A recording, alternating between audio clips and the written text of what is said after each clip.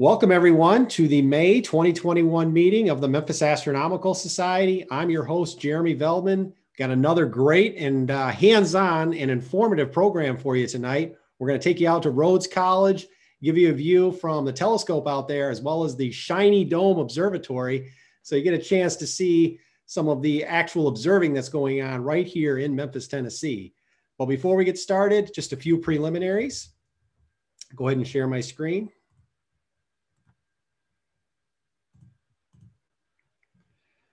First of all, we are the Memphis Astronomical Society, and we are a nonprofit public service organization promoting interest and education in astronomy and related sciences. Our website is memphisastro.org. And of course, you can find us online also. We're on Facebook. We've got a Facebook group. We're on Twitter and we're on YouTube. And if you haven't already, please take a moment to subscribe to this YouTube channel.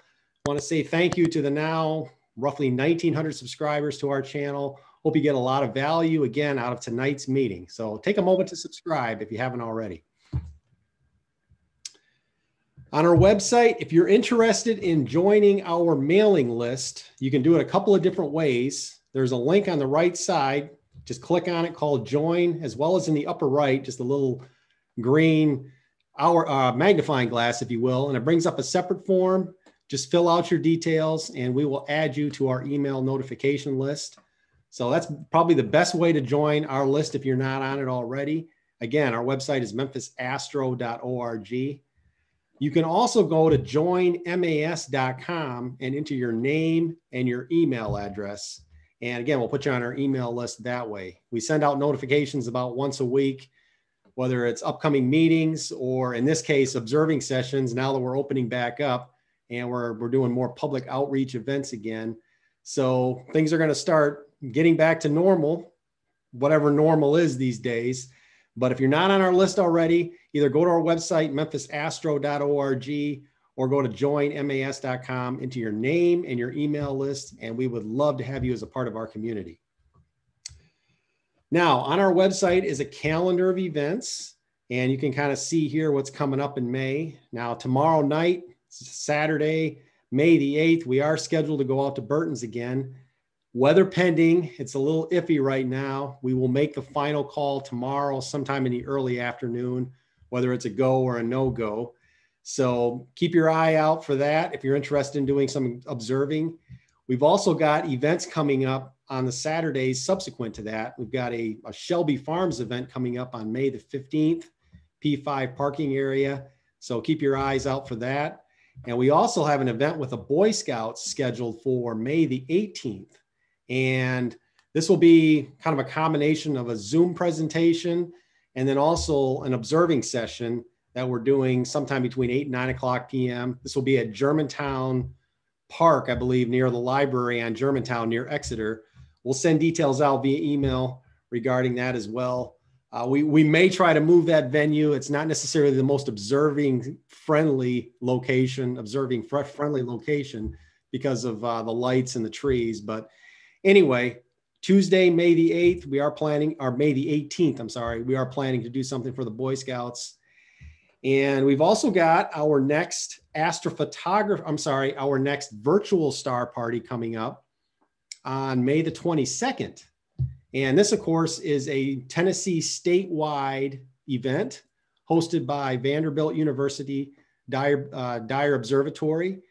And uh, this, is, this, is, coming up on May the 22nd. That's the third Saturday, I believe, in May. So if you're interested in viewing that, keep your eyes out for notices regarding this as well. To participate or to, to actually view this, all you got to do is go to YouTube and do a search for Live at Vanderbilt. That's their YouTube channel. And I don't think they have a handle, a specific handle set up yet. So you just got to do a search for live from uh, live from Vanderbilt, and that will take you to their YouTube site. But we will send the specific link out for this channel as well as the specific link out for this event ahead of time. So keep your eyes out for that, and the email notices will go out, you know, roughly a week or so in advance. And again, that's Saturday, May the 22nd. This is a Tennessee statewide virtual star party. MAS is a participant. We don't host it. Uh, it's hosted by Dyer Observatory, Vanderbilt University and uh, we have Bays Mountain planetarium. We've got the Barnard Seyfert Astronomical Society. They're involved. We also have graduate students up in in uh, Canada that are that are getting involved in this. So it's really spreading, and it's really a content-rich program. So another opportunity for you to get your astronomy fix, if you will. Our next astrophotography focus group meeting is scheduled for May the 29th. That's the last Saturday in May. Again, we schedule these right around the time of the full moon, hosted by Rick Honey. Don't have a topic yet, but this will be on our website along with the Zoom link. And again, this is an opportunity for you if you want to learn more about astrophotography and get involved. Got some, we got some experts in our group. Some people have been doing this for a lot of years, and uh, there's a lot of layers to astrophotography. So it's a great opportunity for you to learn as well as get involved. So we will post information about that, but mark your calendars ahead of time for May the 29th, last Saturday in May for our next astrophotography group meeting. And I believe that's at 7 p.m. Central Daylight Time.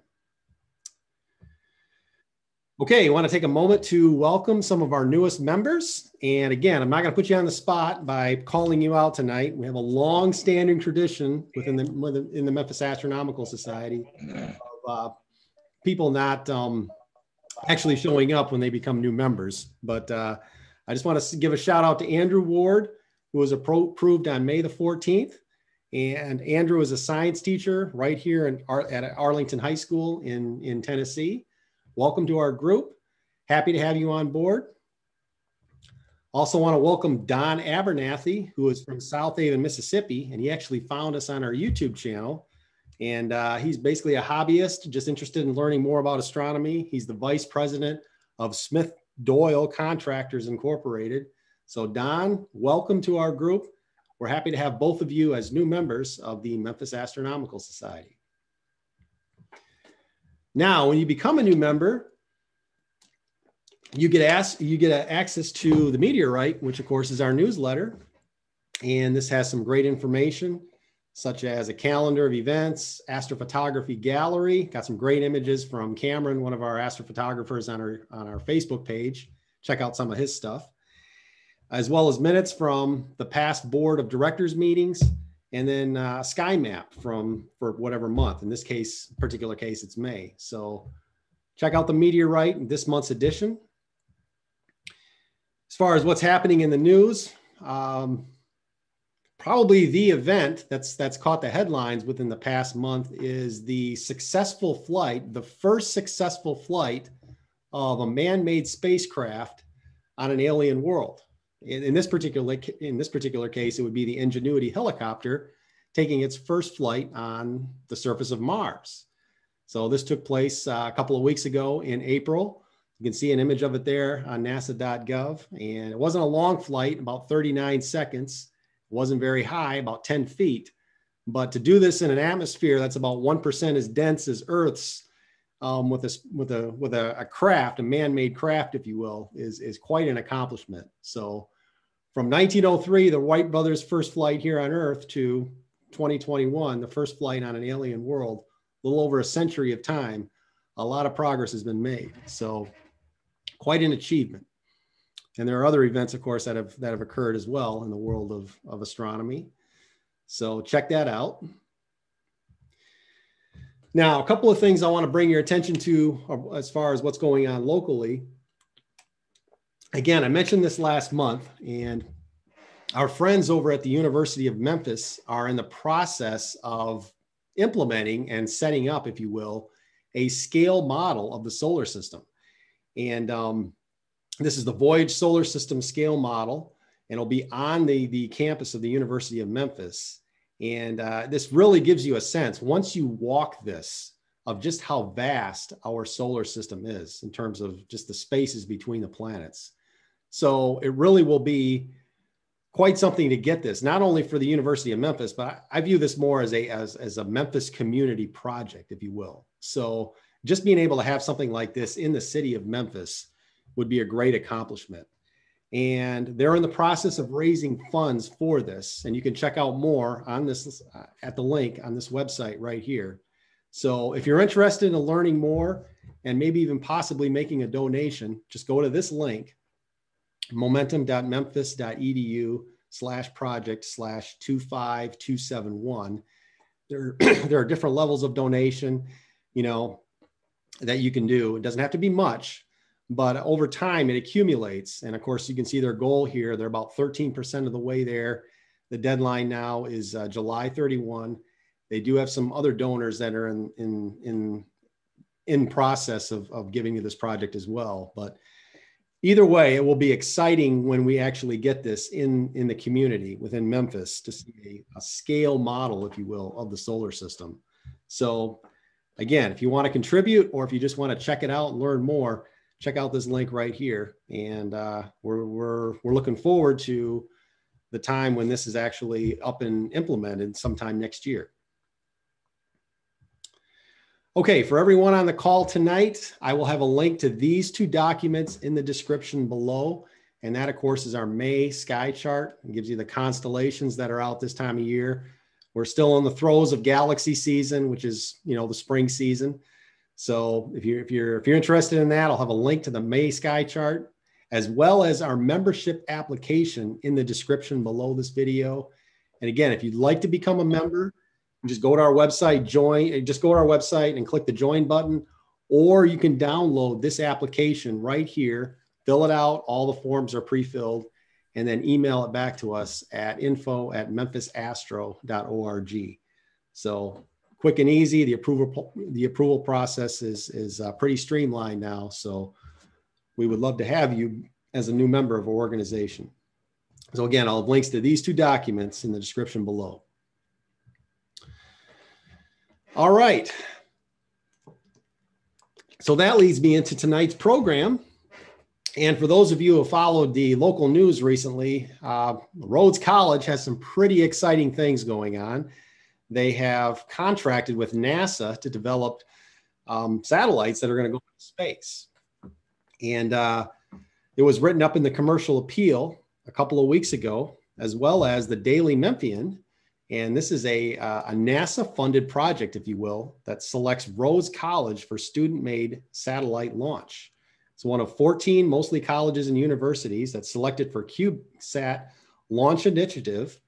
And this is a science to the people program, gives teachers a platform to build hardware, hardware that will orbit the earth. And uh, Rhodes will test tiny solar cells about a millimeter square in the ravages of space. And really, space is, space is a harsh environment for testing electronics. So uh, Rhodes has been uh, in, involved in this initiative now for about a year. And uh, CubeSats are a type of small spacecraft in their smallest form. They measure about four inches on a side, weigh less than three pounds, and have the volume of, of about a quart. So this is some pretty exciting work that's going on locally right here in Memphis with uh, Rhodes College and then also I believe the, the collaboration with the University of Oklahoma, hence the term ROKStat. So our presenter tonight is Dr. Ann Viano, and she is the she's involved in this initiative. She also teaches physics and astronomy at Rhodes College, and she is an active board member with the Memphis Astronomical Society. So we are very honored and very privileged to have her as a part of our organization. And she's made a, an immense contribution to our club over the past year. And it's projects like this that just really bring a lot of excitement into the local community. So tonight, Ann is going to take us on a tour of the Rhodes Observatory. And if uh, you've been to the Rhodes College campus, it's very impressive. It's a beautiful campus, it's a beautiful facility. They have a 20 inch plane wave telescope and during the uh, summer months, and I believe in the fall as well, they have, you know, pre-COVID, of course, they have um, open observatory nights on Wednesday nights where they show you views through the telescope.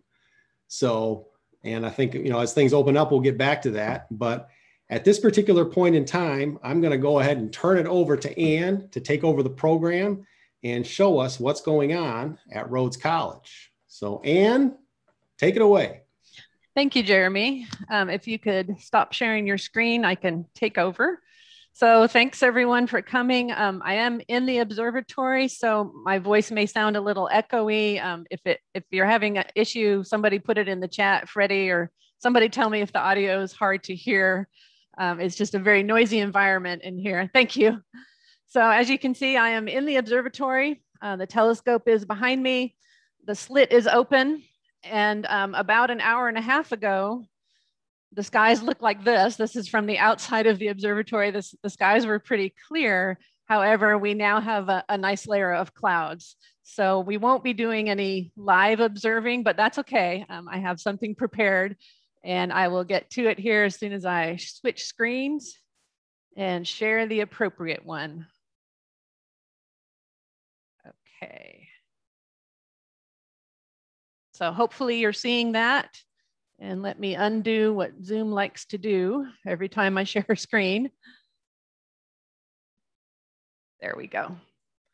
Okay, um, please interrupt me if you have questions as we're going along. We're kind of a small group here, so please, I like this to be really casual, although it might seem really formal. Um, so tonight I'm gonna be talking about the observatory uh, it really has nothing to do with the CubeSat project that Jeremy was just talking about that was recently in the paper. That's a, a different um, aerospace engineering project that's going on in, in the department. But tonight we're talking about the observatory. Um, and so I wanted to start by talking a, a, little bit about the history of observing at Rhodes. Sorry, I've got a Zoom thing in the way. It's kind of annoying. Um, here we go. We'll try and put it over here.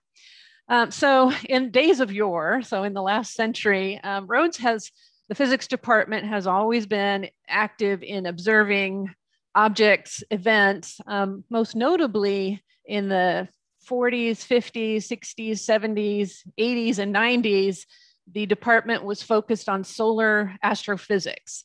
And the big thing was to chase eclipses to study the solar corona.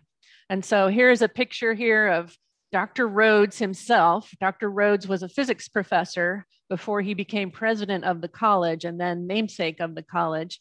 Um, this was one of many trips that the department took to observe a total solar eclipse and take photographs and observations of the solar corona during the eclipse.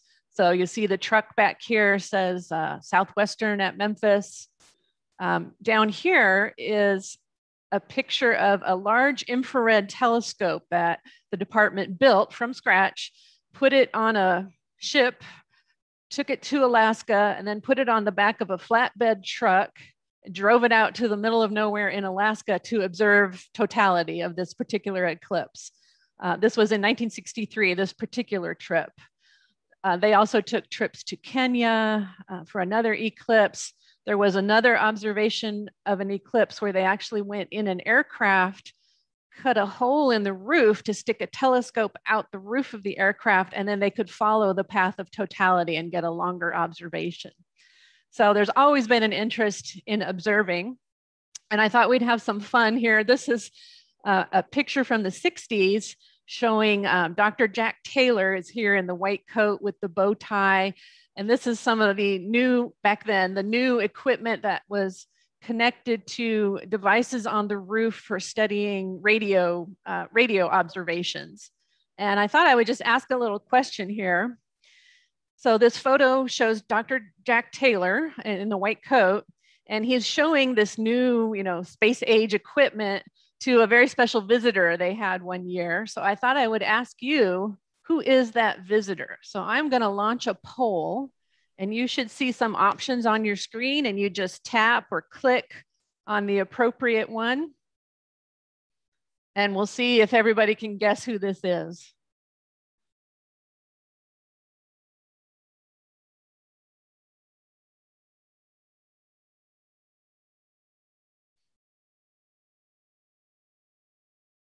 So about half of the people have voted so far. I'll give you another 30 seconds or so. And if you've never done a Zoom poll before, you, you may not know what I'm talking about. You can't find the poll screen. That's completely okay.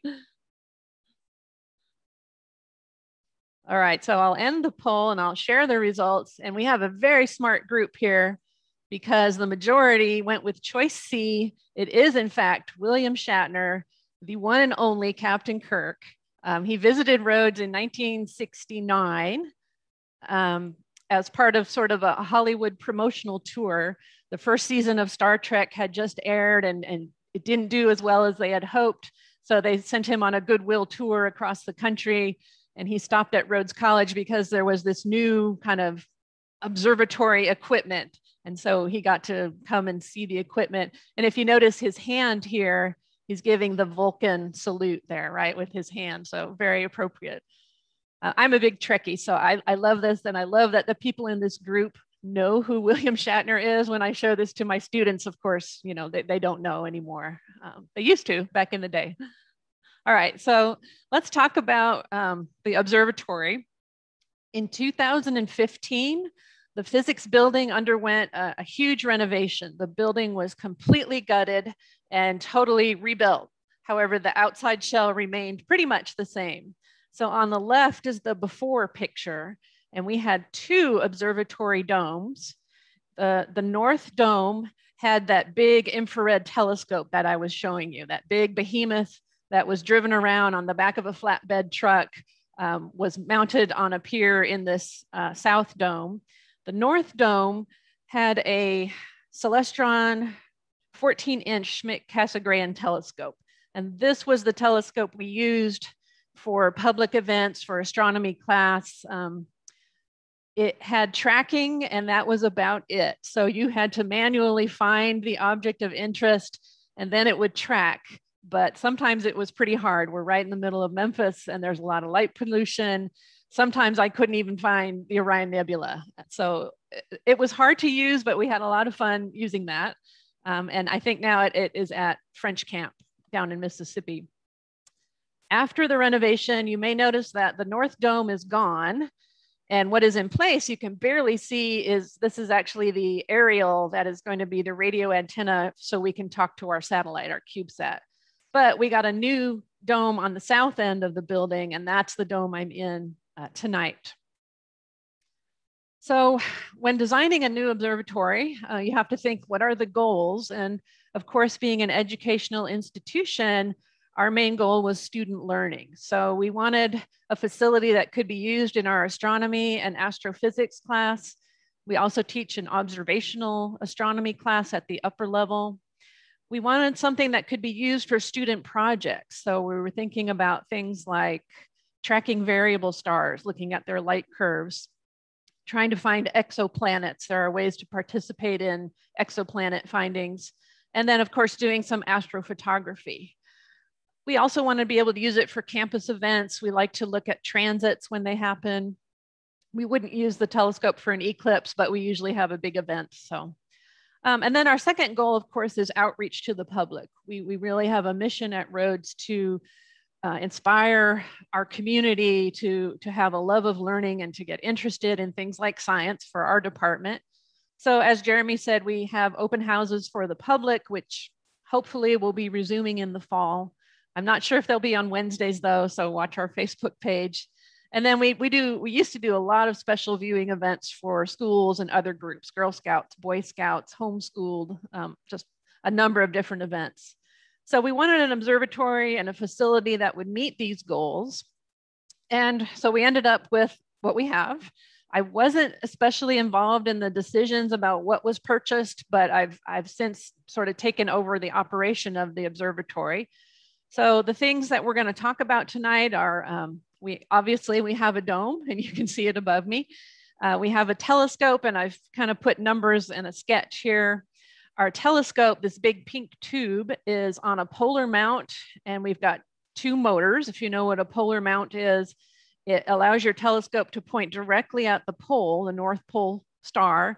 And then you have two motors that move in declination and right ascension, which are basically latitude and longitude on the sky on a, on a grid that is aligned with the north-south axis of the Earth.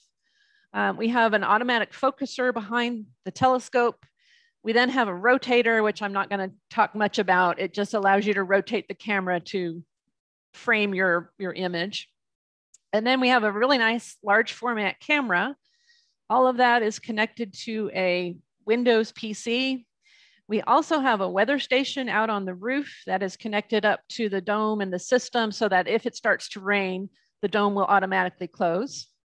And then we also have a webcam in the dome itself because all of this can be done remotely. Almost all of this can be done remotely. And so to have that webcam to be able to see that everything's operating properly is a, a good idea. So before I get into the parts, are there any questions or anything?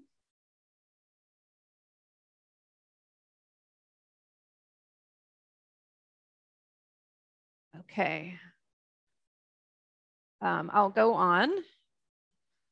Um, so I had a video inserted here because I wasn't sure how the night was going to go, but I'm here in the dome. So this is what it used to look like. This is that old infrared telescope. Um, you can see a student here. This was probably the last student to ever use this behemoth of a telescope.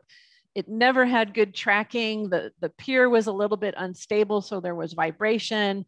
Um, it just was kind of a white elephant in this dome. The new, the new dome has um, an, a beautiful plane wave 20 inch telescope. Uh, Jeremy showed some pictures of it. And you can see the slit of the dome open in this picture. And I'll try to show it behind me. It's, it's a little bit tricky. So the dark is the slit. And we also have a dropout that is closed at this time. All right, so I just wanted to talk about the different parts, show you some things about image processing, and then we can try it out if you want. Um, even though it's cloudy, we can at least move the telescope around and I'll show you how, how we would actually operate things. So the dome we have is from Ash Dome in, in Plainfield, Illinois. They make observatory domes. Um, it's a, a 18 foot diameter dome. So there's enough for the telescope, for a countertop, uh, me, a couple of chairs, uh, and some people to come in. Um, so we have that dropout and the slit. The dropout is this bottom part and it folds outward away from the dome and then the slit opens up and down. Um, the controller is this big gray looking panel on the right. That is from ACE Smart Dome. And that is what is interfaced with our computer so we can control the dome.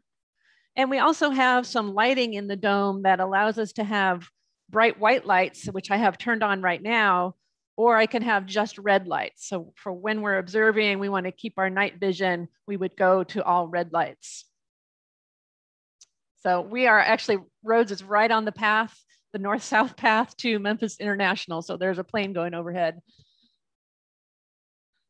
Okay, so let's talk about the telescope itself. So you saw a picture of it earlier. Um, this is a 20 inch or 0.5 meter PlaneWave corrected Dall Kirkham, which just refers to the way its optical path is corrected for certain imperfections in the shape of the mirror.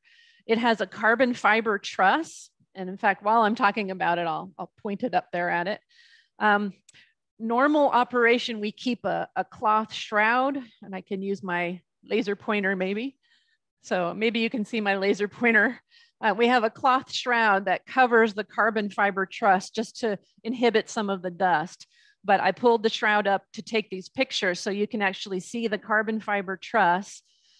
And in this picture on the right, you're seeing the main mirror of the telescope, which is at the, the bottom end of the telescope. In this picture on the left, you're seeing the secondary mirror. So this is a classic reflector. The light comes in, hits the main mirror, bounces up to the secondary mirror, then it goes down this tube and into our camera system, which is on the back end. Um, the focal length is 3.454 meters and the focal ratio is 6.8. So it's not a super fast telescope, but it's not a slow telescope either. It's kind of right in the middle. And this focal ratio just refers to the focal length divided by the diameter of the telescope. So a long skinny tube has a high focal ratio, a short fat tube has a low focal ratio.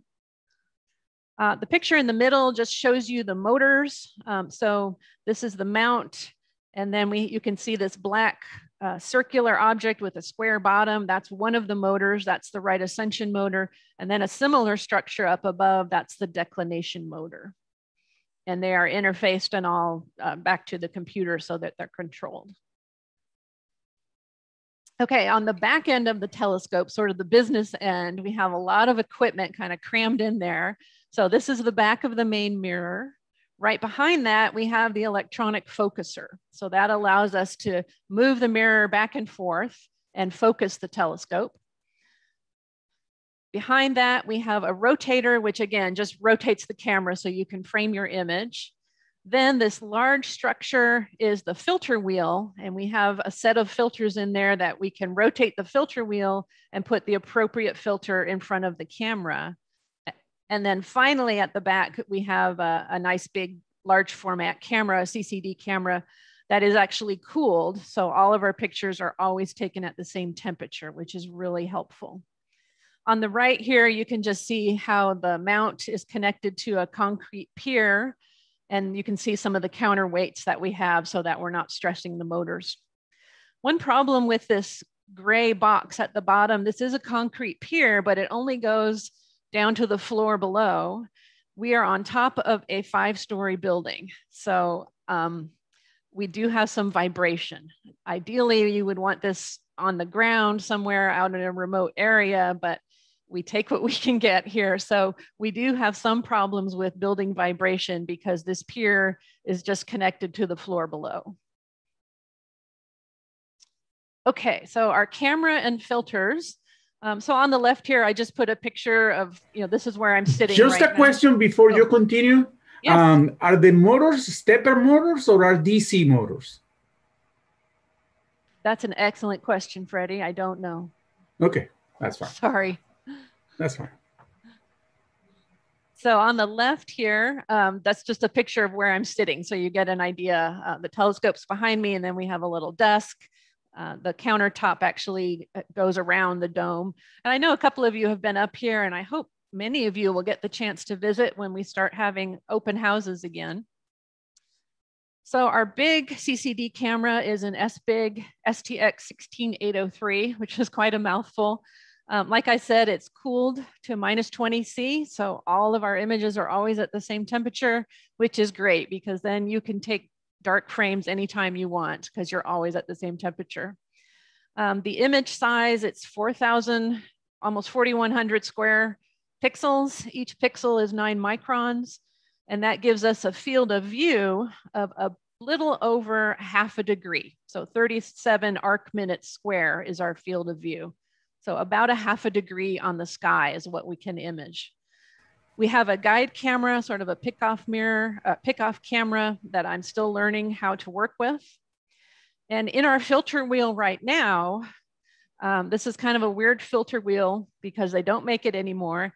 It takes 65 millimeter square filters, which are very large and therefore very costly. Uh, right now, we have a luminance filter and we are using some Sloan filters, which you may not have heard of. So I, I put a little graph here showing you which wavelength bands these particular filters pass through. And they are GR and I, which has nothing whatsoever to do with color. So it's a little bit confusing. The G filter is basically blue. The R filter is basically letting in green and the I filter is basically letting in red. So when we do color imaging, we have to remember RGB is IRG. It's just tricky. We also have an H alpha filter, so we can take images in H alpha. One upgrade that I would like to uh, do with this scope is to purchase a better filter set for our environment. These are not the best filters for a light polluted city. Um, I think the next time we have some excess budget, whenever that is, we will upgrade our filters. Okay, a little bit about system integration. This is the hard part. and where I spend most of my time is making sure that all of this works. So I tried to do a little flow diagram here. So we have our weather station, which is out on one side of the building, but it is integrated into the dome and, and the computer so that if it rains, the dome should close. Um, the dome itself is connected through an internet connection, TCP IP, that's connected to our computer that we access through the computer. The telescope itself comes through USB to our PC. The focuser and the rotator come also through USB And the filter wheel connects to the camera, which also comes through USB to our PC. So we need a really good PC to keep all this running. And ideally, it would not be running Windows 10, which doesn't play nice with a lot of things, but it's what we have right now. Uh, the little lightning bolts, these are all parts of the system that require power. So fortunately, we're in a fixed structure and we have electrical power, but I know a lot of you work remotely and you have to think about how are you going to power all of these different devices. I have another question. Where yes. the guiding camera connects to? Oh, the guiding camera, um, it's, it's connected to the camera itself. So to operate all of this, there are lots of different options. Um, we have, you know, the, the software that came with the dome controller. That turns out to be the only way we can operate the dropout, which is the lower panel to get low in the sky.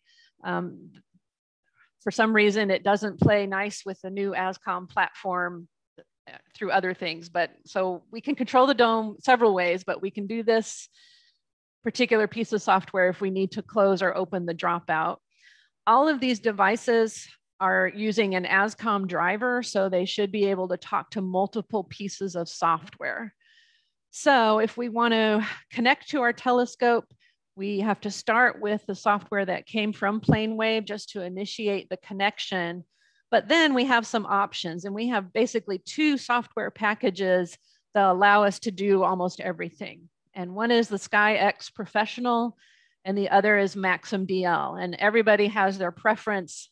Um, we like to use the Sky for connecting the dome to the telescope uh, because we had to pay for that option. Um, it's also a nice way to move the scope around because you get a nice map of the sky and you can see where it's moving. We can also use the sky to operate the camera and the focuser and the rotator. But for taking images, I prefer to use Maxim DL. It just has nicer capabilities. So we could use Maxim DL to do all of this. I, I usually use it for the camera and maybe a few of the other objects. We also have some separate focuser software that we can use. Um, it really just depends on who's operating it, you know, what they prefer, uh, what software they're most comfortable with.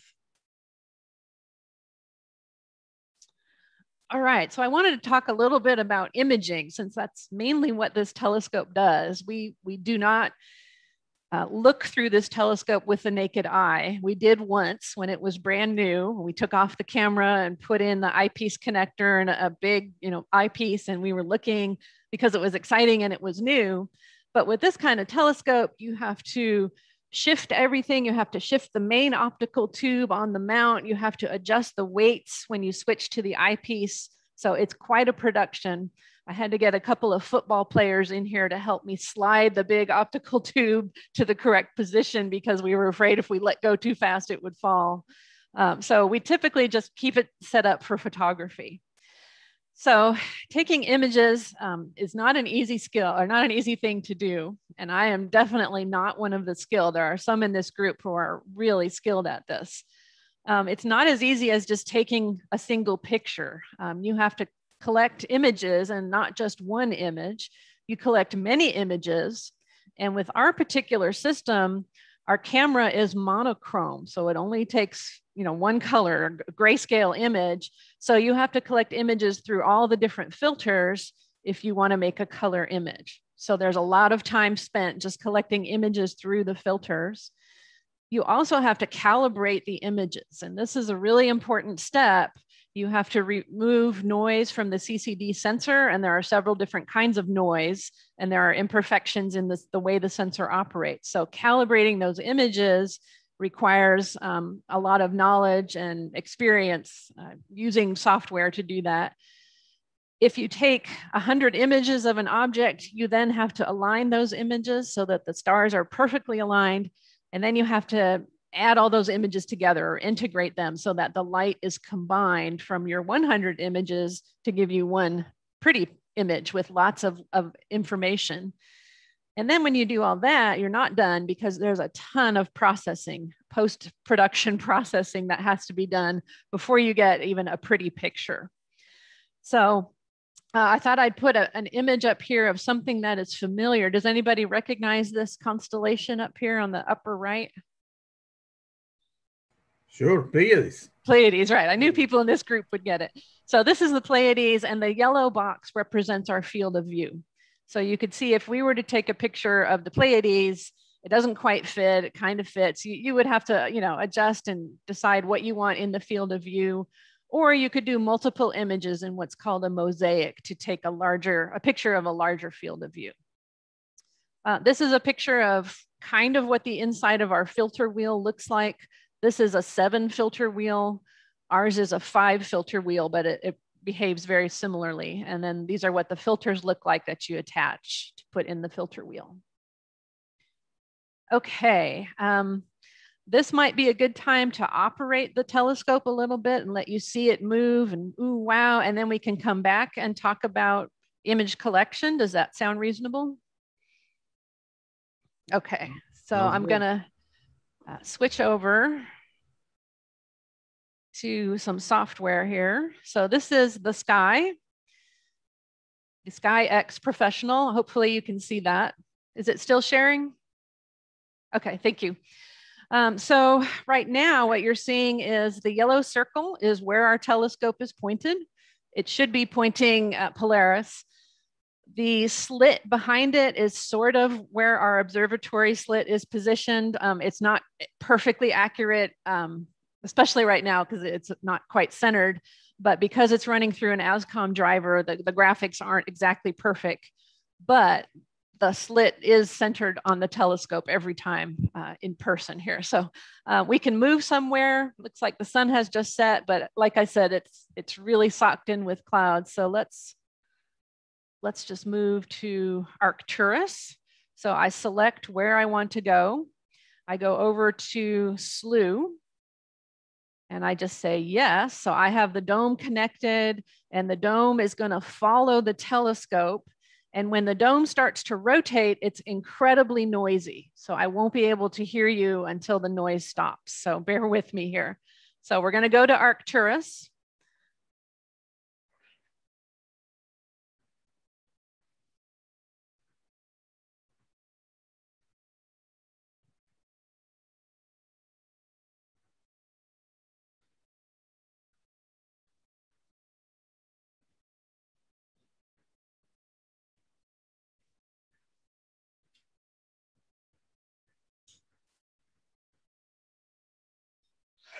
Okay, and the software talks to me. I don't know if you heard it.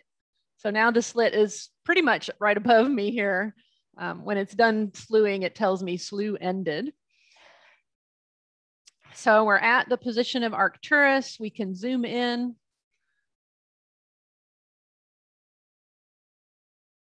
And eventually, if you set it up properly, you get your telescope field of view. So we could see, you know, what it would look like if we were to take a picture of Arcturus, you know, we could center it uh, in our field of view. It, it's going to fit just fine. Um, pretty exciting. Uh, Arcturus is not much to take a picture of, but you get the idea of how this might move now. Uh, let's see if we can show something else. There are so many bells and whistles in the sky that you can turn things on and off and when working remotely from home, the more graphics I have turned on, the slower it is. So I tend to keep it to a minimum. Does anyone have an object they would like to pretend to go and look at? We can't really look at it because of these clouds. How about M3? M3, I was just doing some imaging of that. So we have a nice feature here. We click find and you can just type it in and it will show me where it is in the sky. It's actually close to our current position. Again, I would just say slew.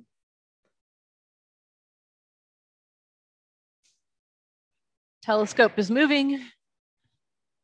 And it was very fast. It was very fast because we didn't have far to go in the sky.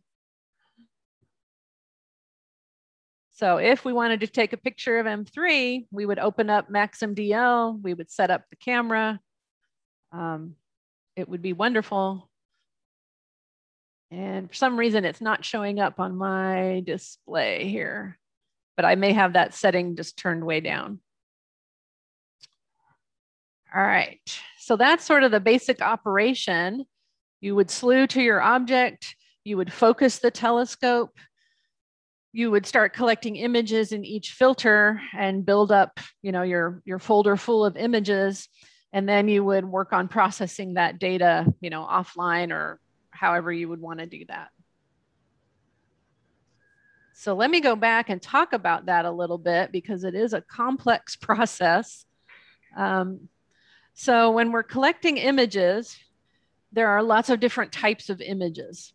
So light images are images of the object. So we just slew to M through M3. We would take images of that object through each filter. We might take 10 images through the luminance and then 10 through the I, R, and G filters that we have. And maybe H alpha if it was an object that had a lot of hydrogen in it. Uh, there are other kinds of images that you need to actually calibrate your data. Um, the first is called the bias. Um, basically, any CCD sensor has some electrical noise associated with dumping that data out of the sensor. So to get a bias image, you take a really short exposure in the, in the dark, and that just records this noise that has to do with reading out uh, electronically, reading out the data. Dark images correct for thermal noise of the sensor. And so a CCD sensor is very thermal, uh, very temperature dependent. The hotter it is, the more noise there's going to be in the sensor. And so you need to subtract out that kind of noise. Uh, now, like I said, our camera is always at the same temperature. So it makes it really easy. We can build up a library of darks and, and we don't have to take a dark every time we take images because the camera is always at the same temperature. But basically you just take images with the shutter closed and you want them at the same exposure time and the temperature as you took your light images. So you take your images of the object and then you've got to take dark images at the same exposure time because the, the noise also depends on the exposure time. Flats images are, I think, the, the hardest ones to get. I'm still working on this, but this normalizes the readout across your CCD sensor. So you might have some parts of the sensor that read out a little bit higher brightness values than other parts, and you want to normalize it so that every region of your CCD sensor gives you the same reading for the same amount of light. And so this type of image will allow us to account for the fact that it's, it's not perfect, um, this, this readout error. And to do this, you wanna take pictures of something that is evenly illuminated, preferably white, and you just want it at an exposure time that is not saturating. So you don't want the pixels to be saturated, maybe you know half half illuminated for a lot of folks I know in this group who observe with a portable telescope, they will just put a white t-shirt over the telescope and then shine it at a, you know, a, a perfectly white computer screen, or you can shine it at the sky at a certain time of day, you know, twilight time, just to get a nice even illumination. We're in a permanent setup and I don't know if you can tell, but this telescope is really big. So it's really hard for me to climb up to the top. I have to get on a tall step ladder and I would put a white cloth over the top of the telescope and then I would shine it out at, you know, twilight. And I've done that. That's, those are called sky flats, but it's really kind of labor intensive. And to, to put a white sheet over the top of this telescope is going to introduce some more dust, which is going to change the way the flats come out. So it's just not a good idea. The other method is to use a flats box. And this is a picture of our flats box. It's attached to the side of the observatory and it can connect up. It's, it's a basically a opaque plastic screen with an evenly illuminated surface on the back side. We use some LED strips to evenly illuminate this white surface and we point the telescope right at it. We try to get it exactly centered, and then we can set the illumination to the appropriate value and we can take our flats. Ideally, you want to do this after every imaging session. And so it's a little bit time intensive. It does require right now someone to be in the observatory to hook up this flats box. Um, we have to hook it up to power in order to do it. So I'm working on a way to make this easier for us This flats box was originally designed to actually go on the business end of the telescope, um, but that's rather unwieldy to do. So it, it's a little bit small for using on the wall of the observatory. So this summer, the project is to make a larger flats box so that it's easier to point our telescope at it. Finally, you have thermal noise in the images that you took for the flats. So you have to do some more dark images, but at the exposure time that you used for the flats. So before you can even get a picture, a pretty picture, you have to take all of these different types of images and then you need to process them. And that is what I am learning uh, so much about with our astrophotography focus group. So I'm just going to talk about a couple of parts, not everything, because that would take several sessions, um, but image calibration. So you take all of these different images, how do you put them together? It, it looks complicated on this slide, but in reality, software will do it all for you. But in scientifically, what's going on is you have a light image. So you have an image of an object. And can you guess what object this is? I picked a really recognizable image. M42. There you go. So the Orion Nebula. So let's say you, you took a picture with a particular filter, um, and then you have a dark image. So you close the shutter and you take a picture at the same exposure time and the same temperature. You took a flat field image and some darks that you've used to calibrate that particular flat. So the flat image through the same filter, and then the biased image, just the really short exposure to get the readout noise. The way these are combined in most software packages, um, it might vary a little bit. Every astronomer has a different method, but the lights uh, the darks are subtracted from the lights and the biases are subtracted from the flats. And then they're combined in this way. The light minus dark are divided by the flats minus the bias. And then you end up with a, a nice calibrated image, one image. So maybe that was one image through your green filter. And maybe you took 50 images through your green filter and 50 images through your red filter and 50 images through your blue filter and 100 images through your luminance filter. You have to do this for each image. But like I said, the software will do it all for you. Um, you just have to learn the software, which can be hard or not so hard, just depends. So if you want to do color imaging, you would do this for each filter, right? A red, a green, and a blue. So maybe here I have five images that I took through a red filter of the Orion Nebula, and they've all been calibrated. So I've gotten rid of all the thermal noise and the electrical readout noise by going through that procedure on the previous slide. Then I want to align these images. So line them up so the stars are overlaid on top of each other. And I basically want to add these images up. I want to integ integrate the, the light information in these images. And I might end up with a picture like this. So this would be a master image in say the red filter. And I would do the same thing for the green filter and the blue filter. Now remember, we're using these Sloan filters, which is why it says I, R, and G, but you could think of it as red, green, and blue. So you would go through all of that and get a final image for each of your colored filters. And then you would combine them together uh, in the same method that we did on the top row and you would get this ugly looking green image. You would combine them as, as color channels and you, you get this terrible green image. And that green is light pollution. Rhodes College is right in the middle of Memphis, Tennessee, and the light pollution here is, is pretty bad. And light pollution is in the green wavelengths. So all of our images come out with this horrible look. And then you have to do some work to remove that background. And I'm just learning, thanks to Meryl and some others in this group, uh, ways to eliminate that background and come up with something kind of passable.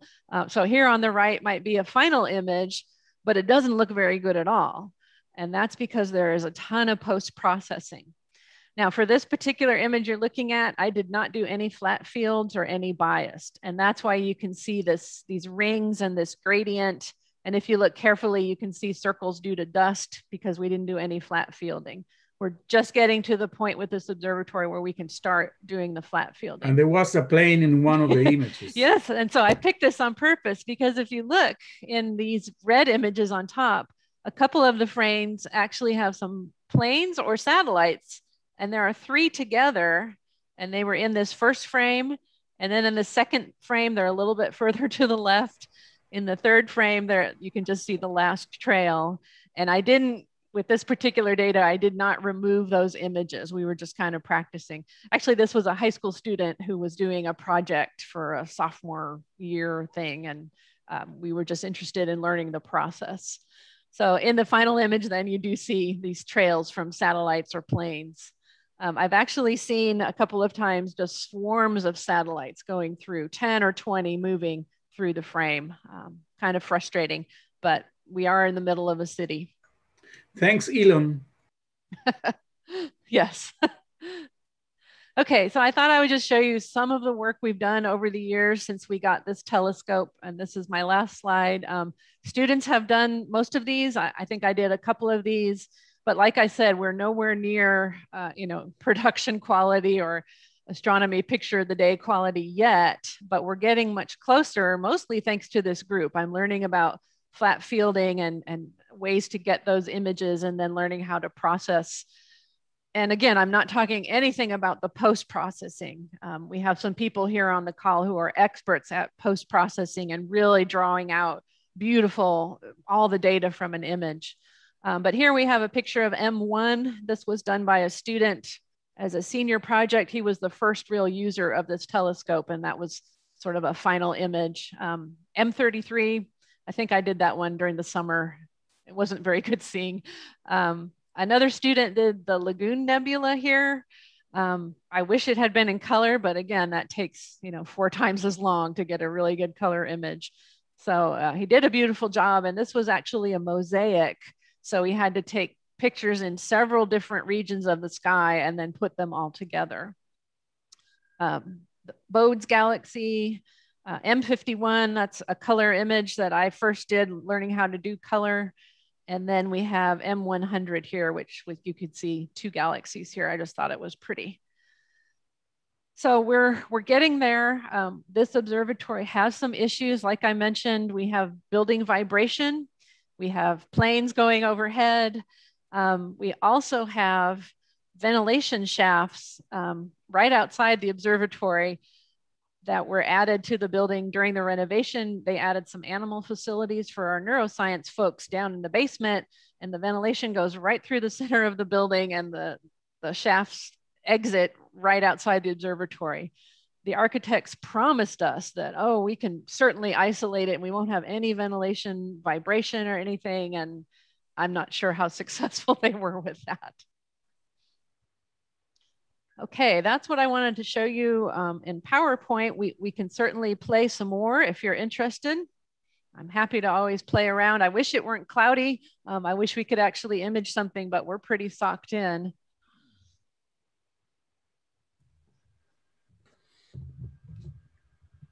I have a couple of questions. If nobody has anything else.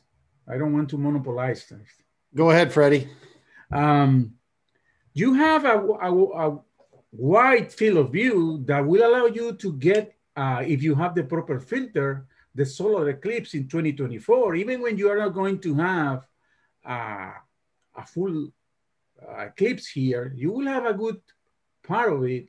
And I wonder, given the previous experience of the college with uh, solar imaging or and I study. Do you have any plans for doing that? I know everybody wants to go to Arkansas. I, know. I'm planning because I stayed here for the last one to run oh. a big event for the campus. Um, this time I want to go and experience totality. All of my colleagues took off and left me here to run an event for a thousand people. Um, I have not seen anyone using a telescope like this for solar imaging okay. because it's an open truss it would yeah. be really hard to filter everything for solar, uh, put a solar filter around everything. But we, we will do something for the eclipse on campus, I'm sure. We, we have a bunch of C8s that we have solar filters for okay. and some special solar telescopes that project. Um, last year it was, or the last time it was right during freshman orientation. So we had 400 freshmen with eclipse glasses all out mm. in the quad looking up at the eclipse. But those are the kind of big community events that we really love to do. And I probably should start ordering my eclipse glasses now. It's hard to believe we're already starting to think about the next solar eclipse. That's how that's how quickly less than three years. Yeah. So it'll it'll it'll be here before you know it. So it's never too early to start planning. Uh, a solar eclipse is an alignment between the sun, the moon, and you minus the clouds. That's the one thing I learned from the last solar eclipse experience. You can plan all you want to, we can we can know thousands of years in advance to the second when totality is going to occur and where but we cannot predict until literally seconds before where the clouds are going to be. So the clouds are everything. Or the lack of clouds i should say. Um, we did have a question about ccd just a, a question of clarity. Charge couple devices so you know ccd cameras and the technology that's used for imaging so can you talk a little bit about that from the I'm not really prepared for that kind of question. Um, so a CCD. Um, it's basically a charge couple device. Right. So it will give you a voltage that is proportional to the amount of light striking a pixel. And that voltage is then read out. And there are different ways that you can read out from a pixel or from a CCD. Ours kind of does a row at a time, which makes it a little bit slow. Um, so it's just a material that is sensitive to light and the sensitivity is converted into a voltage, which is an electrical signal that you can then read out or, or collect. We're basically in the silicon age now. We're not in the film age. We've kind of, we've migrated past that more or less. Um, are there any other questions? You got, if you if you have any other questions, just, just feel free to either enter them in the chat room or um, we just got one. How large are the files coming out of the camera? oh, that's a great question. Um, 32 megabytes. I have plenty of files, so I should know. Um, well, uh, let's see. We have oodles of data. I'll look at some recent data. Is, um, is that 16 bit or, or 32 bits? These are 32 bit. So give this a minute here to update it. So uh, it's about uh, 53 megs. Say it's big. Yeah, these are big files. Here we go. So 32.7 megabytes okay. per file. Yeah. Um, so there's another setting you can bin your image. So you can take four pixels and average them, okay. and it kind of cuts down on the file size, so it makes it faster to, to it, and transfer. it's more sensitive. Yeah. It, it's also. I'm sorry It's more sensitive when you more sensitive, right? Yeah. But it does cut down on the file size, so yeah. you can go a little bit faster. But you know, here are a bunch of images I took of looks like M101. Each file is 32 megabytes, and this is you know one night of observing um, 95 files. yeah. Now, what format are those those images in? Um, our camera gives us fits. Okay. And then you you know you can read them in and convert them, but our that's software. not a joke. Oh, fits. I get it. No, F I T. um, uh, it's not showing the extension because it's a PC. That's why. But yeah, these are fits images. Yep. I had, a, I had a general question about flats. I mean, if you're just throwing a white sheet over the cover of your telescope, could you just archive those and use those for multiple for, for different targets, or do you have to take flats every time? Well, uh, Freddie was talking about this at our last astrophotography meeting. Um, you could, you, you know, you people will have like a professional observatory will have a library of flats, but the the dust changes. Our mirror, the big mirror in the telescope, has a fan that blows air across it to keep any stagnant air and to keep air currents away. And so that's going to change the dust on all the surfaces every single time. So to do a really perfect job, you would want to do flats every observing session.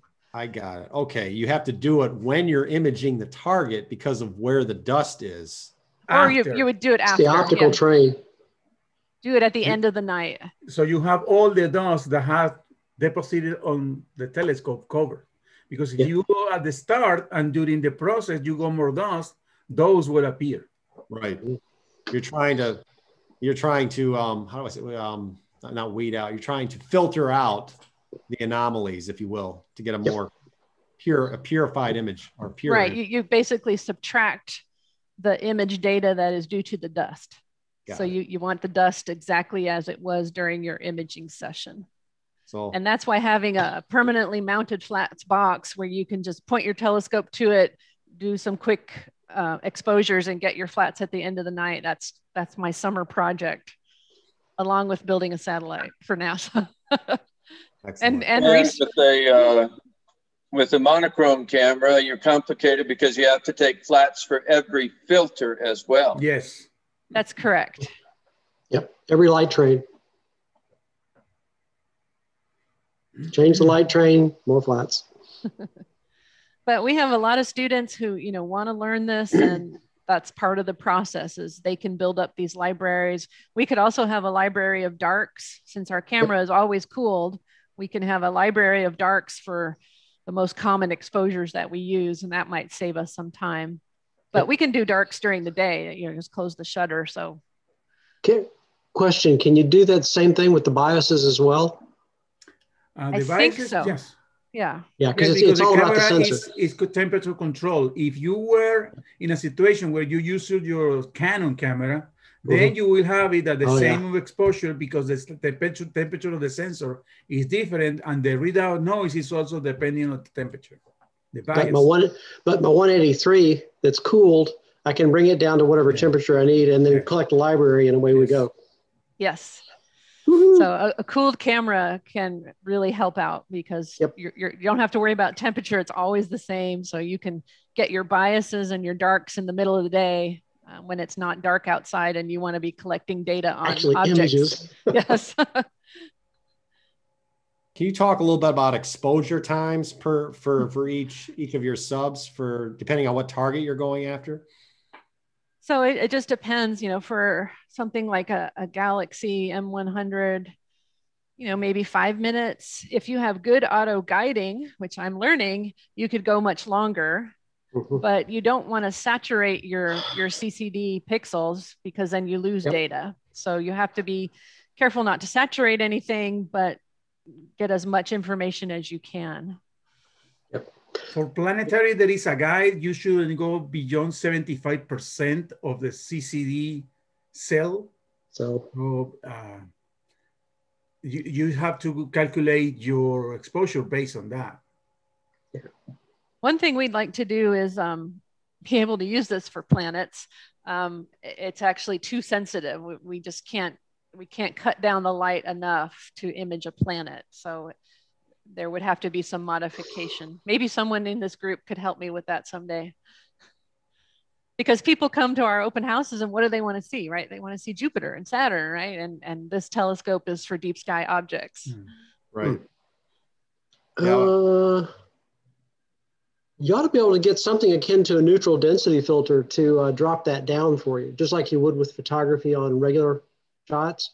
That's what I thought. And I, I talked yeah. to the, the plane wave manufacturer folks, said no, but I no? may I may try it anyway. huh, yeah. well, they want to sell you a telescope for uh, well, yeah. for solar system. well, yeah. I was thinking if we could cut the light down enough, then our, our shortest exposure time would be okay. And what I may try that. What is the shortest exposure time for that telescope? Um, let me check here. I'll share my screen and show you how we would actually do some imaging because it's, it's kind of fun. I think you can see that. So this is Maxim DL and I connect the camera. Um, so here's an option to turn on the coolers. And mm -hmm. so camera one is the big large format camera. Camera two is our guiding camera. Um, exposure, I would just say find a star, the shortest we can go. One millisecond. one millisecond, yep. but I don't think that's right. I think I've, I, it, will give you an error if you try to expose probably, less yeah. than like 0.01 yeah, USB, or something. Your USB connection will probably conk out before then, depending on when it transmits back. So I'm glad to hear that a neutral density filter, if it's um, dark enough, would maybe help us with planetary imaging because that's the one thing that people who come to visit, they really want to see a planet. And you can use a couple of polarizing filters, but uh, then the setup is different. Mm. And uh, you can rotate them, and with two polarized filters, you can almost reduce the light uh, to mm-hmm. zero. Yeah. So that, that's a good idea. Um, unfortunately, you know, with a big scope like this, yeah. changing yeah. the filters is a major job. We have yes. to remove yeah. the filter wheel, open it up, and it's very, very sensitive. Change out the filters, and right now we only have five slots in our filter wheel. Ah. So if we wanted an LRGB, maybe you can put that on the camera. Put it on the on the camera mount. Oh, yeah, that's another I option. Know. I'm just I, I brainstorming here there's always something you want to try, right? Yeah. Yeah, I was just thinking of a way to stop it down. That, that would be the other option. Just so like you, you would with, with you the, can see on our um, our our sensor it says it's now at minus 7.1 degrees. Mm-hmm. Yeah, so it's cooling. And, and then, the guiding is also cool. That is nice. It's yeah. not. Oh, it's not? oh. No. It just looks like it. It just looks like it. Okay. Um, is it an off-axis guider? Is that what it is? I wish I knew the answer to that. I I, it, it, I think it is. Hmm. But it's this... not looking. It's not looking through a different telescope. It's looking through the main telescope, right? Yes, yes, yes. yes. so it's an OAG. Yep, it's off-axis. Yeah. Okay. I was thinking if you had a separate tracking scope, you might could use that for planetary. Right. We thought about that. We we tried like a little webcam or something, but didn't have much luck. Yeah. So maybe I can open up an image here and show you. Uh, you might catch some really good flats outside right now with the with the clouds. Uh, here's something.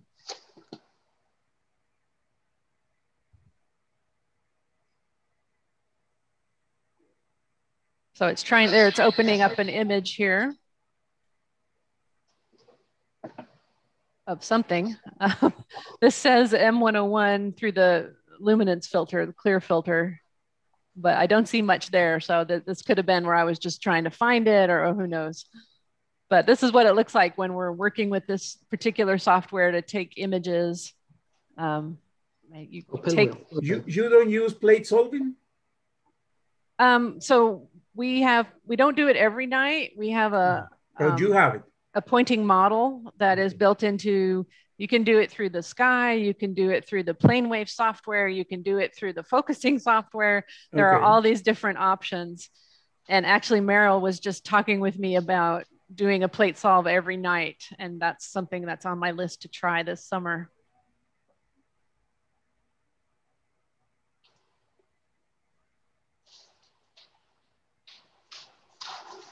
Other questions so I got to ask you, um, and I, at the end of every observing session, we always have kind of like a highlight of the evening. If we're out there, like what object you know stood out the most for for, for many particular observing night. So can you talk about maybe one of your favorite experiences or favorite objects or most most memorable objects uh, imaging in this telescope?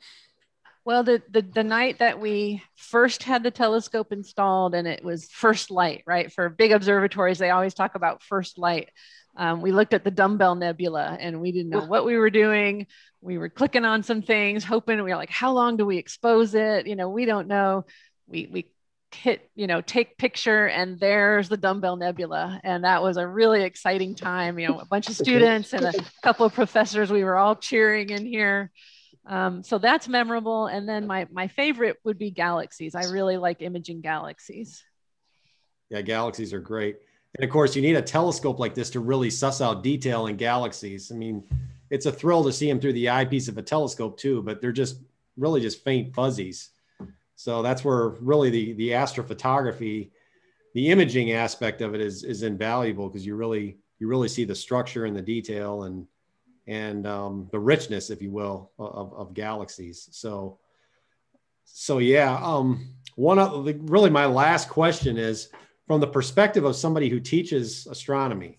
You know, astronomy and imaging are kind of connected because you know, in order, the only thing we have to go by is the light of these objects. So, as far as getting the story behind the object, what's going on, you know, whether you're looking at a, um, a star forming region, a nebulae, um, or a supernova remnant, or a galaxy, you know, the, uh, the structures in a galaxy. Can you talk about, just in general, the importance of, you know, a detailed image of a deep sky object and then the kind of information you can get out of that as far as um, teaching, you know, the physics, if you will, or the the science of what's actually going on. I know it's kind of a vague question, but so um, getting information from a, a, like a visible light image or, or a picture. Um, I mean, it's important to have really good images. We've learned so much from the Hubble, you know, just because of its imaging abilities. We've learned new things about galaxies and we've seen more galaxies than we ever thought there were. We've seen structures in galaxies that we didn't know existed. So, a good image can lead to a lot of new science. And um, I can give a plug for my, my colleague Dave Rupke, who's going to be presenting at an MAS meeting in October. He will be talking about galaxies and galaxy evolution, and he uses telescopes like the Hubble and the Keck he just had three proposals approved for the new James Webb Space Telescope. He'll be one of the first users using it to study galaxies. So he discovers new things about galaxies all the time from the image, but spectroscopy is the other half, right? So mm-hmm. you get images, and then the spectra also gives you that chemical information that is really important. I, I think they are equally important, right? The visible image and the spectroscopy data. Absolutely. That's something one of our students wants to do is um, use this telescope to take spectra, which would be pretty exciting. Yeah, that would be exciting too. So, and I know you've done a little bit of work with that also. Tom, Tom Field did a presentation back in October, and I know you have his program. And yeah, we, well, we use that in the general astronomy course to learn about spectra. But putting it on this big telescope would be probably a fun challenge. would be. Does anybody have any other questions for for Ann? It's not really a question. Uh, I can uh, uh, give a little historical context on some of the um, the, the eclipse uh, eclipse trips that uh, were taken in the 60s. I was a student at uh, Southwestern, now Rhodes, in 1963. And uh, some of you have heard this story, but uh, it's uh, it, it's a it's a really good one, and I'll keep it as brief as possible. Uh, I was not a physics major, uh, but uh, I had a number of friends who were, and they went on these eclipse observation, eclipse trips, including the one to Alaska that you showed with uh, Dr. Rhodes uh, in front of the van and the, the big infrared telescope. Dr. Rhodes was the president of the college at the time. He was president from, I believe, 1948 until 1965 or six. And um, he, uh, he was, as far as I know, he was not actively teaching physics during that time. Dr. Jack Taylor was the, the uh, department chair at that time. And uh, Dr. Taylor's field was infrared. Uh, he had started his career during World War II uh, doing infrared research for the Navy. And he kept up that sort of thing. Um, and uh, uh, I had, as I say, I had friends who went on these eclipse trips, and they took a lot of careful observations of the eclipsed sun and the corona, and they collected a lot of data, and the data just disappeared. They did not know what happened to it. Uh, there was a, a, a, file cabinet that was kept locked in a locked room in the basement of not that building, which didn't exist at the time. It was in, uh, I think it's now called Kennedy Hall. It, it, was, it, housed physics and chemistry and biology at that time. And, uh, all, and all this, you know, double secret, uh, hidden material, they never knew what they what the, they anyone did with the data they collected all these infrared observations until many years later. And I, I got this story from one of the participants who, uh, you know, fellow student, a friend of mine who told this story at our 30th class reunion in 1994. Um, and um, uh, they, they, somebody who was in charge of the reunion says, anybody have any stories that maybe nobody's ever heard about when we were students there? He said, well, yeah, I got one. Uh, and he said that uh, he kind of forgot about what they did during these eclipse trips until in uh, January, February 1991, during the first Gulf War, he was watching coverage of the uh, the, the air war over Iraq with a neighbor. And during the, uh, the, the, news broadcast and some of the documentary, they showed uh, some air to air combat, which included Sidewinder missiles. And the friend said, That's a heat seeking missile, isn't it? Friend said, Yeah. He said, Why doesn't it chase the sun instead of going after aircraft engines? And my friend said, and then I knew what we were doing because Dr. Taylor had a contract with the Air Force to collect this information. And what he did was collect information about uh, infrared, the infrared spectrum that was emitted by the sun and the solar corona. And this went into the making, the designing of the heat seeking missile, the Sidewinder so that it would ignore all of the spectrum, the infrared spectrum, except the spectrum that is emitted by uh, emitted by a jet engine, and it would chase that.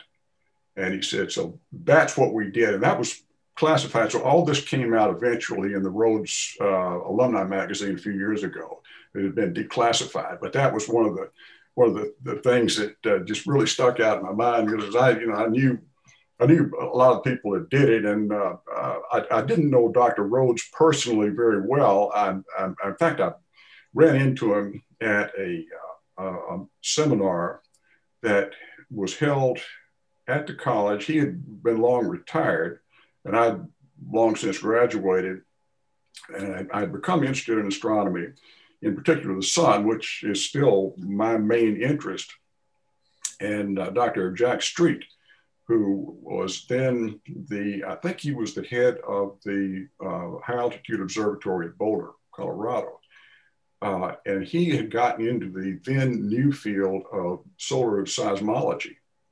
And he was going to give a talk on this. So I took the afternoon off and, and went to, uh, to hear the, the speech. And so Dr. Rhodes comes in and he came and sat down beside me and, you know, very friend, he was, hi, I'm Peyton Rhodes. And I said, yes, sir, I know. Uh, you handed me my, my diploma. Uh, and he said, oh, when was that? And I told him, and uh, he said, well, you're a physics major. And I said, uh, I said, no, I was a psychology major. And he said, oh, you know, like it's, it's disappointing, uh, disappointing reaction. Uh, but anyway, I said, but I had a lot of friends who were, and we talked about them some. And uh, anyway, he was a very engaging uh, uh, figure. But uh, yeah, he, he, was on that trip, and there was uh, there's some people that went to India. They went some uh, several places. I, I can't remember now, but that was that was the purpose of some of the infrared observations that they made on these eclipse trips back 60 years ago. Wow. I, I wasn't aware of that history. So just asking the right questions, huh? So yeah, uh, yeah, and it was it was it was super secret when it was going on, and uh, they they did not let on to the students what they what they did with the data they collected. And my friend finally figured it out uh, when his friend asked him that question: Why why doesn't the Sidewinder missile chase the sun? Yeah, change everything. Take a moment. Yep. That, uh, yeah, that's a pivotal moment, literally. Yeah. Wow, what a rich history. I had no idea. So, yeah, some exciting stuff. Exciting stuff going on. In the, yeah, it was an interesting time. Very interesting time. So, well, I am going to um, home the telescope and close the dome if anybody wants to watch. Um, sure. We did have one other question here. Oh, go ahead. Um, what's the furthest object the team at Rhodes has been able to observe? Boy, that's a great question. Um, I don't know. Um, we've looked at a lot of galaxies, so you know they they vary in distance, but I've never like cataloged the distance to every object we've looked at. That sounds like a great student project. See the yeah. furthest thing that you can mm. see. um, so I'm going to send the telescope home and the dome will follow and it'll be very noisy in here, but I can mute it if, if people want to keep talking, just let me know. For the record, we don't hear the noise, no. so we're not sure exactly what you're talking about. But okay. got some it's not coming, not coming through my mic. Okay. Yeah. See, right now we can't. We hear don't hear anything. No? You you will in a minute. nope. Huh? So you can't hear the dome? No. No, okay. we don't hear that at all. Quiet as a mouse. Yeah. that noise canceling stuff works. It does. You have excellent noise canceling technology. So now it's going home. You're putting going home, and it points. Our home position is north. It doesn't have to be, but it is. And now I'm going to close the dome as soon as the, it finishes this action. So you can see that dropout panel on the bottom that is not open.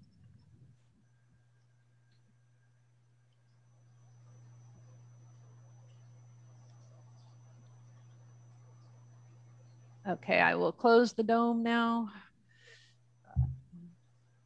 I'm getting a lot of comments here. Wow, that moves fast. yep. So now the slit is closing. I'll tilt it up. You can oh, okay. see it start to close. So it just takes a couple of minutes to put it in the home position and then mm -hmm. to shut it, shut it down. Oh, there it goes.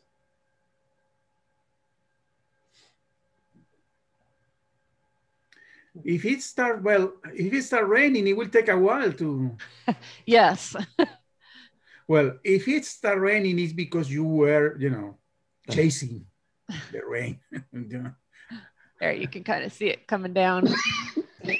So some of my biggest fears are um, to be logged in from home and the campus has a power outage yeah. and I have no way to shut the, the dome. We, we do have a crank that we can hook up and do it manually, but um, it takes me 30 minutes to get here from home. So I guess be... like I would have to have some students come up here and, and do it. yeah, that would be rough. I got another question here. This is probably an uncomfortable one, but I'll ask it anyway. Um, just curious, what kind of budget did Rhodes have to approve the dome equipment, et cetera? Tens of thousands, hundreds of thousands, or millions? Or no comment? So the entire building renovation was a $40 million renovation, and it included the observatory. I don't know exactly where the money came from for the telescope. I'm assuming a, a generous alum maybe you know, $100,000 for this telescope and maybe another 100 for the, the dome and supporting structures. And how old is it again? Um, 2015. So we're six years. Six years old. Excellent. And that's it. Put it to yeah. bed. Now we're closed up. Very good. All right. Does anybody have any other comments or, or questions? Well, with that, yeah, fantastic presentation. Getting a lot of positive feedback yes. here. He was so nice. Go ahead and Thank you very much. Well, I hope this has enticed you to, to come and visit us at Rhodes when sure. it's actually clear and we can do some observing. Can't wait. Yeah, whether it's Wednesday night or some other night during the week, maybe ideally Friday night so you can stay out a little later. But um, yeah, we're looking forward to getting this COVID stuff behind us and getting back to normal and being able to meet live again and and and do these types of things. You know, open houses at Rhodes College. It is a beautiful campus. It's an impressive facility. So yeah, hopefully, hopefully sometime soon. You know, sometime in the in the early fall or whenever we get the green light to to get back out again. That would be that would be fantastic. So. Um, with that, I am going to just share my screen here briefly to wrap up. Hopefully everybody can see that. So, all right. Again, joinmas.com. If you're not on our email list already, just enter your name and email. So you can go to joinmas.com, or of course, you can just go to our website, memphisastro.org, click the join button. I'll have links to these two documents below. That's our sky map and then also our membership application. Um, when are we going back live? Again, we're targeting July. I will tell you it's not looking great. Um, the board's going to meet soon, and we'll see if we're still on for the live screening screening of Luminous. It may not happen. We may have to delay it until the fall. So we're working on it. Let me just put it that way. And our sources at CBU are not optimistic about a live meeting until or anytime this summer. So we could be virtual for a little while yet, but just stay tuned for, for updates from us. We are working on it. COVID's coming to an end. Most of us have been vaccinated, and I know we're eager to, to get back out. Our, our observing sessions are back open again. We're, we're doing public outreach events, and eventually we'll get back to doing our meetings live again as well. But it looks like we're going to be virtual again for, for, for the next few months. So stay tuned. And again, our website is memphisastro.org. Find us on Facebook groups, Memphis Astro. Subscribe to this YouTube channel, Memphis Astron Society. Hope you guys got a lot of value out of tonight's presentation. I know I did. I'm, I'm really excited and just humbled, quite frankly, to be associated with some of the minds that are involved in the, in, in the Memphis Astronomical Society. Not only the knowledge, but also the passion that they have for the subject. It, it really inspires me. So, um, can't thank Ann enough, as well as the other members of our group, for the time and effort that they put in to make this this organization work. It's a collective effort. An organization is an organism. You know, we're we're connected. So um, the more we put in, the more you put into it, the more we get out. And I just cannot thank you enough for your efforts for doing a program like tonight, as well as the other speakers that have stepped up uh, throughout the course of the year. So with that, guys, I'm just going to go ahead and wrap up. Say thank you very much for participating and stay tuned for notices from us soon. Subscribe to our YouTube channel, join our list, and we will see you first Friday in June. Have a great night, everybody.